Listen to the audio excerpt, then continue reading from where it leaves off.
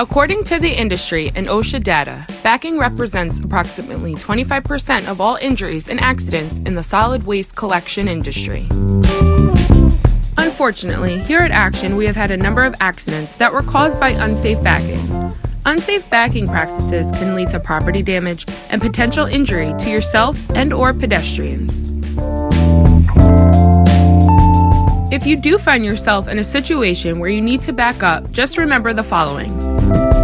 Never back up further than you have to. It creates unnecessary risk factors. Check the backing area before backing up to ensure that the area is clear of any obstructions. And always, remember the word goal. Get out and look. The driver or the helper should always get out of the truck and look to assess the backing area before backing. Never back up without the use of a helper. Sanitation trucks are huge, and even with the assistance of mirrors and backup cameras, blind spots can lead to accidents.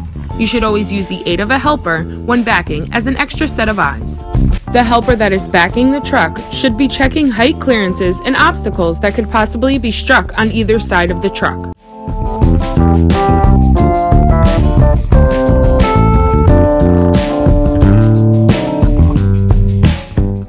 The helper should be positioned no more than 10 to 15 feet behind the truck on the passenger side, facing the rear of the truck, so he could be seen properly in the mirror.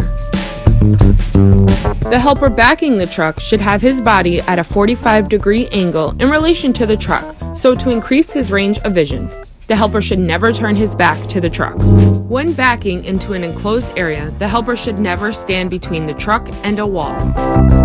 Once the backing area is determined to be safe, the helper can now direct the driver in reverse. Using the correct hand signals, the helper will safely aid the driver in the backing of the truck.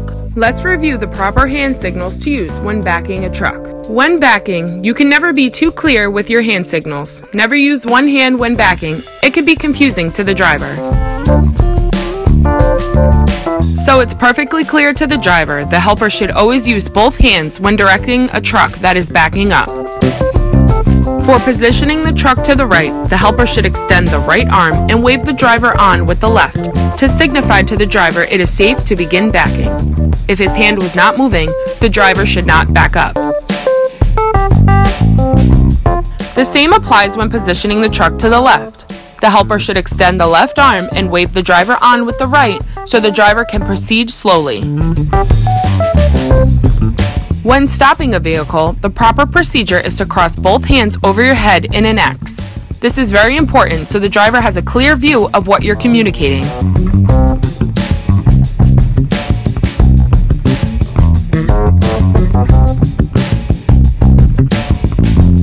In the event of a quick emergency stop, the helper should wave their hands over their head, signaling to the driver to stop immediately. In the event the truck has two helpers, one helper should secure vehicle and pedestrian traffic as the other directs the truck. Remember, backing represents approximately 25% of all injuries and accidents in the solid waste collection industry. It's our job to make sure we follow the proper backing procedures to keep everyone safe.